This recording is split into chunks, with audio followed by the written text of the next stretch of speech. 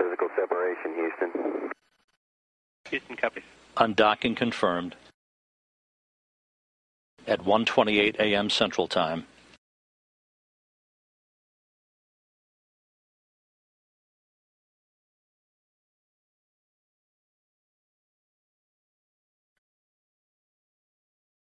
Atlantis weighs anchor from the International Space Station for the last time.